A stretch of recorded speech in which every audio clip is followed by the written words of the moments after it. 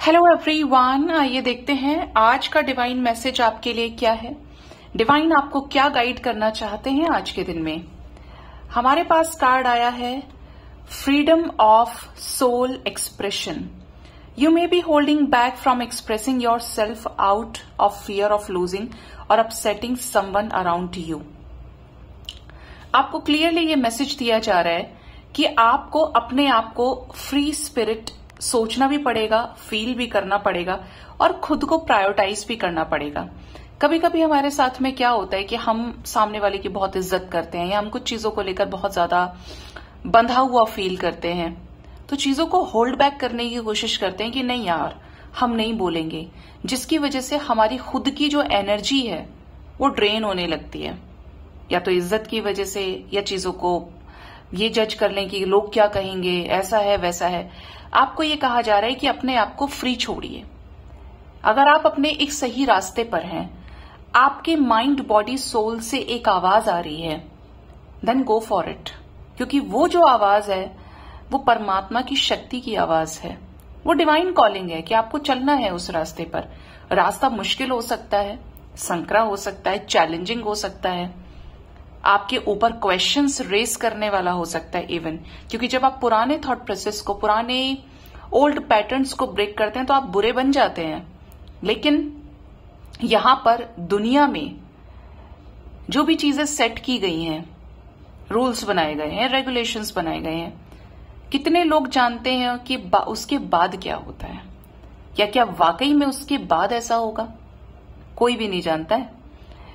तो ऐसे में कुछ भी अच्छा या बुरा, सारी चीज़ें परम पिता परमेश्वर के अधीन है।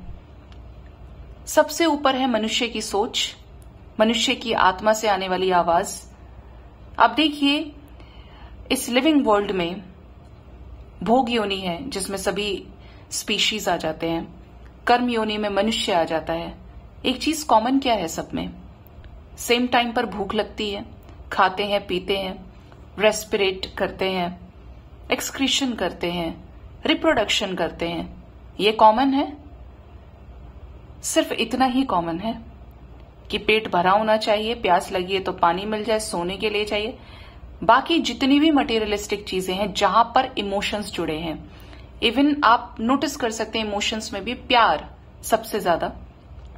रुपया, पैसा, पढ़ाई, लिखाई एक एक चीज़ जो मटेरियलिस्टिक वर्ल्ड में जड़ों तक जुड़ी हुई है वो सिर्फ़ क्रिएटेड है मनुष्य के द्वारा। लेकिन आप इससे बहुत ऊपर उठ के देखेंगे तो हर किसी के अंदर आत्मा का वास है। जीव चल ही रहा है क्योंकि उसके अंदर जो संचार है, वो परमात्मा की शक्ति के द्वारा हो रहा है। तो अगर आप अपनी चीज़ों को पीछे खींचने की कोशिश कर रहे हैं, खुद को एक्सप्रेस नहीं कर रहे हैं, डर के चलते आप ये रिश्ता खो देंगे। आपके साथ ऐसा हो जाएगा, वैसा हो जाएगा, आपके आसपास के लोगों की वजह से, और आप एक गलत रास्ते पर ही चलते जा रहे हैं। तो उससे आपको मिलना कुछ नहीं है। इसलिए उस सोच से ऊपर उठ के, परमात्मा को अपना हाथ दे के, विश्वास करते हुए कि आप एक सही रास्ते पर हैं। परमात्मा की आवाज़ को सुनिए और अपने लिए स्टैंड लीजिए। बहुत कुछ डिफरेंट हो जाएगा। आप कॉर्नर्ड हो सकते हैं। आपको लोग उल्टा सीधा बोल सकते हैं, लेकिन जिसने ये सृष्टि बनाई है, उसकी नज़र में आप सही हैं और बाकी सब गलत हैं। इसका बहुत अच्छा सा एग्ज़ाम्पल है खुद महाभारत में कौरव और पांडव। कौरवों की तरफ़ सभी थे, द्रोणाचार्य थे, भीष्म पितामह थे। वो सब जानते थे कि पांडव सही है, लेकिन वो ये कहते थे कि उन्होंने नमक खाया है, हस्तिनापुर का तो ऐसा है, वैसा है। वो साथ देंगे कौरवों का, लेकिन सबके सब मारे गए। क्योंकि वहाँ पर अधर्म था। वो जानते थे गलत है, लेकिन कुछ चीज़ों को वो फॉलो करने के पीछे लग गए। ठीक है? लेकिन आप उसको डीपली देखेंगे तो सच का साथ, धर्म का साथ जहाँ पर भी होता है, प्रभु का वास वहीं पर है। इससे विपरीत आप कुछ लोगों को सेटिस्फाई कराने के लिए, अपने आप को थोड़ा सा अच्छा बनाने के लिए, दिखाने के लिए कर रहे हैं। बट ये चीज़ें परमानेंट नहीं है। ये चीज़ें आज नहीं तो कल फिर आपके सामने आके खड़ी हो जाएँगी। और तब तक खड़ी होंगी जब तक आप अपने लिए स्टैंड नहीं लेंगे। ऐसे में भगवान की आवाज़ को सुनने की कोशिश कीजिए जो आपके हृदय में वास कर रहे हैं।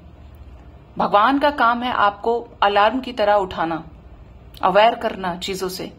माइंड बॉडी सोल से आपको अलाइन करना। अगर आप उस रास्ते पे चल पड़ेंगे, आप अकेले बेशक होंगे लेकिन जिस वक्त आप बैलेंस होंगे, बाकी सब आपको सही समझने लगेंगे। और आप खुद में बैलेंस हो जाएँगे। इसीलिए हमेशा अपने सोल को एक एक्सपेंशन की तरफ़ लेकर जाइए। जो भी मन में आ रहा है, बोल दीजिए। खाली रखिए अपने मन के दर्पण को। जितना भरा रखेंगे, उसमें आप किलसते ही रहेंगे। टेंशन पे टेंशन वो चीज़ ट्रिगर करती रहेगी। अंटिल और अनलेस आप उसको खुद से क्लेंज नहीं करते, उसको बोलते ना बार बार एक ही प्रॉब्लम है। कोई नेल है, बीच में से टूट गया। जब तक आप उसको पूरा काट के निकालेंगे नहीं, तब तक वो वहाँ भी लग रहा है, वो वहाँ भी लग रहा है, आपको हर्ट कर रहा है चार चार लोगों को और हर्ट कर दे रहा है। लेकिन उसका सीधा सा क्या है? उसको कट करके रिमूव करना। बिल्कुल इसी तरीके से लाइफ में कुछ ऐसी चीज़ें हो जाती है हमारे साथ में, जहाँ पर हमें एक्शन लेना पड़ता है, क्योंकि समय की रिक्वायरमेंट है। अब नहीं तो कब? अगर वो चीज़ें लॉन्ग रन में आपके साथ होती आ रही हैं आप 10 साल से बर्दाश्त कर रहे हैं 500 बार आपने देख लिया। This is the high time की आप स्टैंड लें, खुद की माइंड बॉडी सोल को फॉलो करें और अपने सोल के एक्सपेंशन को बढ़ाएँ। स्पिरिचुअली और ज़्यादा अलाइनमेंट में आए, ठीक है? सो so गाइज़ ये थी डिवाइन की आज की गाइडेंस होप इस रीडिंग से आपको गाइडेंस मिली होगी। अपना बहुत ज़्यादा ख्याल रखें। Thank you so much bye take care